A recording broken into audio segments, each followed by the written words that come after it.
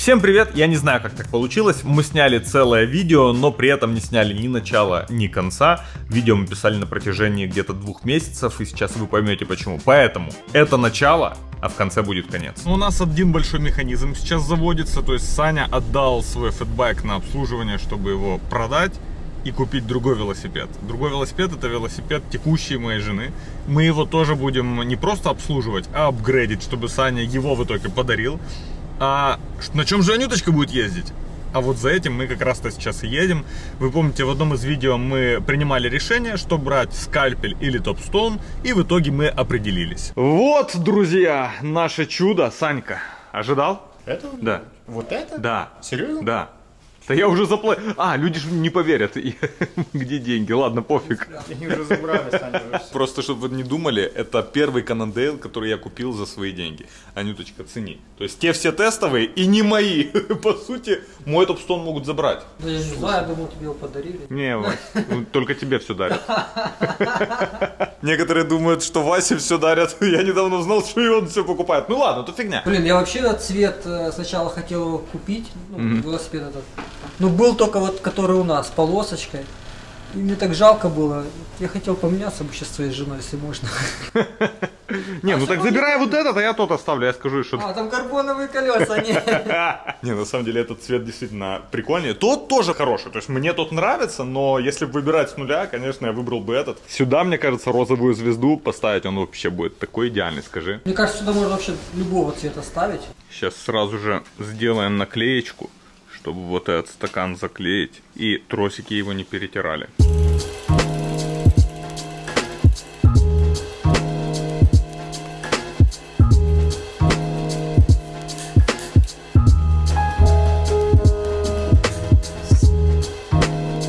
Все, велосипед готов.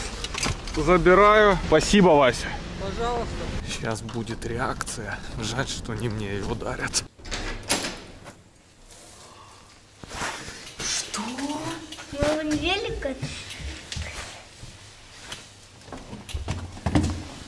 Ладно. Какой красивый! Зачем ты снимаешь? Завози. Смотри, каких я штанах. Завози. Выехали тестировать новинку и тренироваться.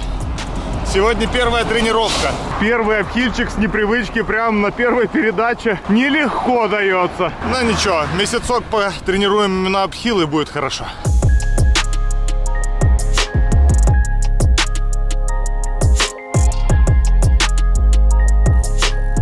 Все, первый обхил взят. Сегодня тренировочка будет маленькая. Вообще я не думал ехать никуда, потому что погода должна была быть плохой, и планы были уже.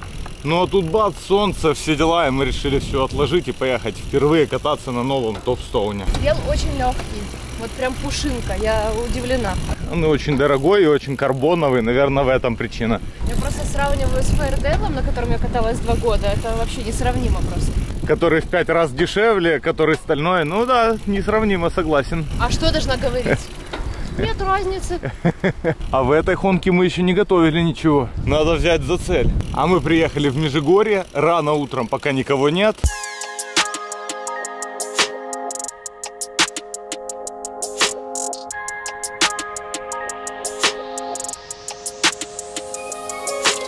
Межигорье это замечательный парк, который теперь стал парком. До 9 утра здесь вход 70 гривен с человека. И я думаю, что пару раз в неделю мы сюда просто будем ездить тренироваться, потому что здесь есть шикарные участки для восстановления, спуски, гладенькая дорога, как зеркало. И есть потом высокие такие подъемы, где можно прям отрабатывать нормально кардио.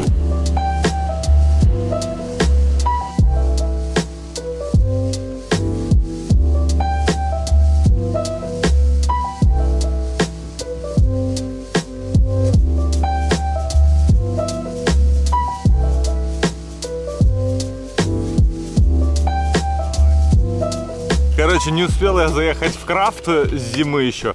А я у них, вы помните, брал штаны, которые мне якобы не подошли. И вот эту курточку, я говорил, что совсем не подошла. В штанах я бегал в итоге в этих всю зиму, потому что температура была ниже минус 15, долго достаточно. И они оказались просто идеальными. Но самое главное, я в них на велосипеде катался неоднократно. Почему? Потому что виндстопер, ты вообще не потеешь. Я даже сейчас в них, несмотря на то, что температура где-то плюс 3, плюс 4 сейчас, ты едешь со спусков, тебе ничего не продувает, э, но в принципе мы сейчас не активно так тренируемся, чтобы я потел сильно. И поэтому я их оставил уже давно себе. Но курточка, главное, первый раз сейчас выехал, я там не один раз пробежался, и она мне не подошла. А на велике отлично. Мне кажется, это вообще велосипедная штука, они просто не разобрались. Ну а посмотрите, как здесь красиво. И утром никого. Можно ездить, тренироваться. Просто шикардос.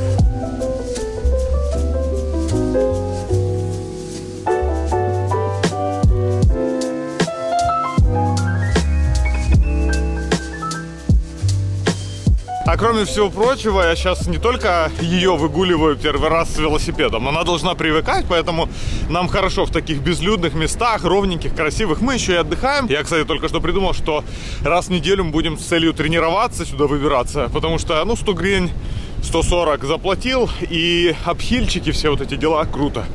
Но сейчас я еще и тестирую некоторые вещи, которые у нас в прототипах с Blackpack. Вы могли их увидеть в этом видео, может еще увидите. Но это не финальные версии, это самые-самые первые прототипы. И сумочку катаю за спиной, та, которая вот начала продаваться. Если вы не видели, обязательно посмотрите видео. На велосипеде с ней просто отлично.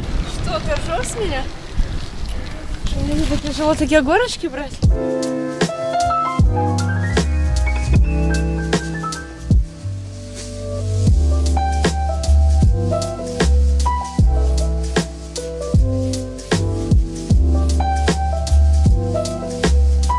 Кстати, я и забыл, зачем мы выезжали первый раз. Мне ж надо было размер проверить, надо возвращать или нет, ведь она еще не каталась ни разу. И на Васином ей было хорошо, но все-таки меня до последнего смущало, ну типа она метр семьдесят пять и размер S. Но здесь все та же история, с топстоунами размерность смещена, и у меня вот эта рама M, хотя все остальные велосипеды между L и XL.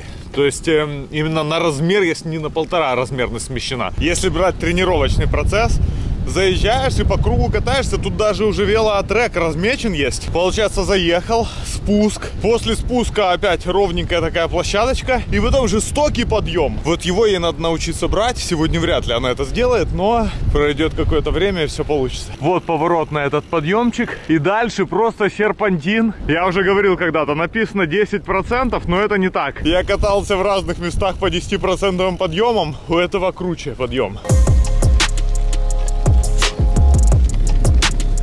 Скоро будешь залетать в него. Давай, давай, давай. Тащи! Можете снимать? Нет. Пусть на тебя все эти 270 тысяч подписчиков смотрят и говорят, ну давай, давай.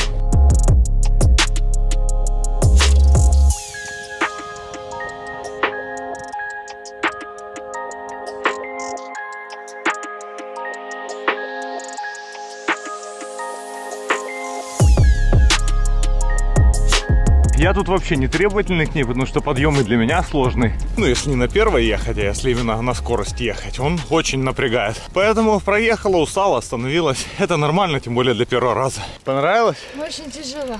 А так за тренировку таких три раза сделаешь, и будет хорошо. Приехали в зоопарк, и здесь такой резкий запах, что даже я его ощущаю, хотя я уже давно ничего не ощущаю. В общем, после такой маленькой поездочки я теперь полностью доволен, что мы не FSI взяли. Ей не нужен FSI, это нужен Ане, Васю, которые маунтинбайком занимаются. А нам вот так, гревел, дороги. Да и в какое-то небольшое путешествие поехать на топстоуне намного проще. И бонки есть, все есть. Просто что на переднюю вилку багажник не повесишь. Но на байкпакинге ехать прям вообще легко. Я жалею, что по Литве мы путешествовали не на этом вельчике. Ну, кстати, да, не потому что ФРДЛ плохой, он за свои деньги охрененный. И все равно самый красивый велосипед. Потому что это красивым, ну, как бы нормально, но слишком технологично, как по мне. ФРДЛ он просто идеальный был. Но просто там были грунты очень много, обхилы. И мы ехали не на туринге, а именно на байкпакинге, причем на лайтовом. То есть мы ночевали в отелях, в каких-то апартаментах. И вот этот велосипед для этого идеальный. Я мечтаю в этом году повторить что-то такое, вот вместе с ней, на двух топстоунах. Пишите, кстати, куда можно было бы поехать, так, чтобы не слишком тяжело, и километров 500-600 проехать за недельку.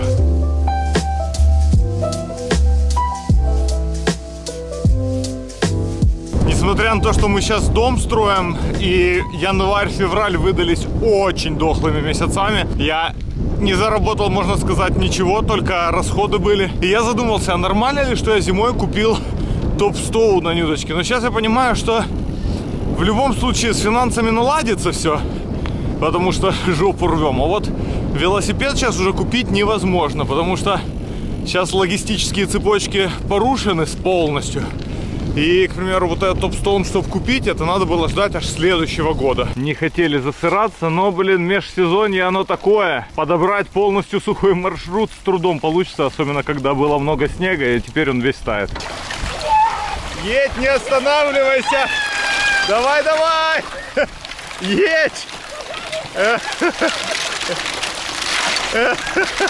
Все, Круто. Довольна? Я довольна, да. Бельчик огонь. Решила сделать э, вставочку во вложек, э, но на ходу решила все-таки камеру не брать, не записывать на ходу, потому что в прошлый раз э, все помнят, чем это все закончилось. Так вот, я остановилась и хочу вам кое-что рассказать.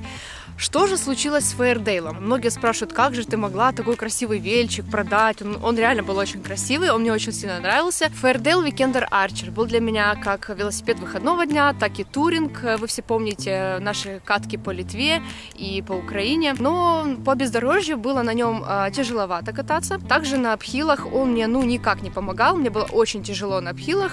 Когда мы ездили э, с группой людей, я вот всегда была последняя. Мне казалось, что я какая-то кляча, э, очень слабенькая, не могу холмик подняться.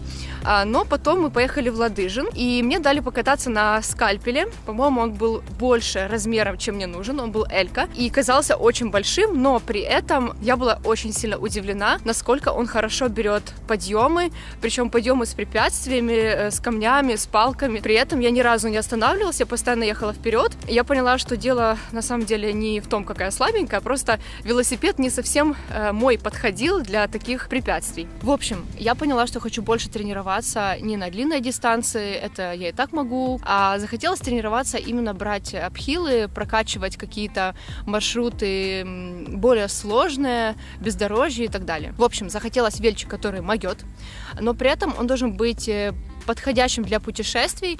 Можно облепиться байкпакингом и просто поехать с Сашей в какие-то интересные страны, интересные локации. И при этом можно будет эм, ездить и в горки э, легче, чем на Фейрдейле. В общем, мы остановились на Топстоуне. Скальпель все-таки он больше для других целей. Но меня смущало, что у этого велосипеда руль баран. Я как-то не очень хорошо относилась к баранам. Я просто один раз попробовала, я чуть не упала, э, сильно испугалась и поставила на этом крест. Но Вася дал мне покататься на своем топстоуне. За минут 10 я привыкла к рулю барану. Никаких э, не ощущаю дискомфорта или что мне страшно там, и он как-то плохо управляется. Не знаю, мне он подошел, зря я переживала, поэтому если вы думаете палка или баран, все-таки вам стоит попробовать. Сейчас 6 марта 2021 года, я только начинаю накатывать первые километры на своем новеньком топстоуне. Маленькая мелочь, но мне очень нравится, что тут есть на переднем колесе э, датчик, который сбрасывает весь пробег велосипеда э, в приложение Cannondale.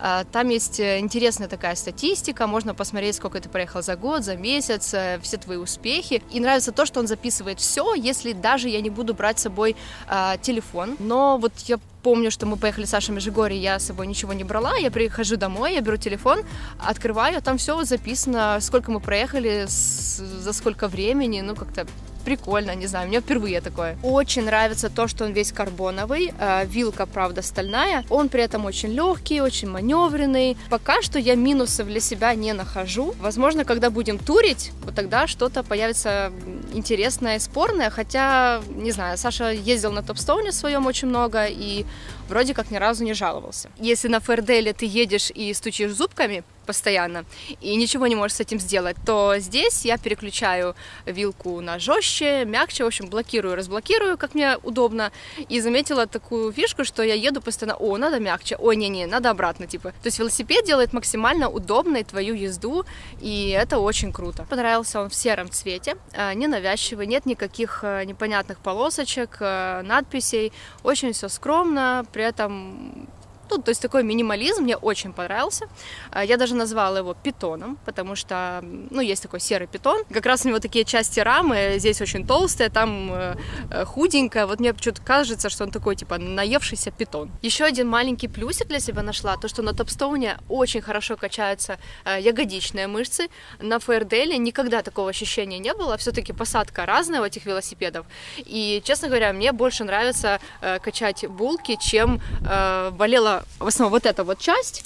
Вот, но никогда ощущений, что что-то происходит э, с ягодицами, не было. Вот теперь, мне кажется, этот вельчик прям мне зайдет очень хорошо. В общем-то, друзья, пишите свои комментарии, понравился вам или нет этот велосипед. Может быть, вы твердо уверены, что ей все-таки нужен был э, скальпель. Буду рад э, почитать ваши комментарии. Но я со своей стороны могу сказать, что мы очень рады, и тем более в текущих условиях. Я недавно зашел в скрытый такой файлик, у меня есть доступ, у меня нет доступа, я не должен про это говорить. И я увидел, сколько на всю Украину есть велосипедов в разных э, категориях. Если вы имеете возможность купить велосипед, делайте это сейчас. Все, всем пока.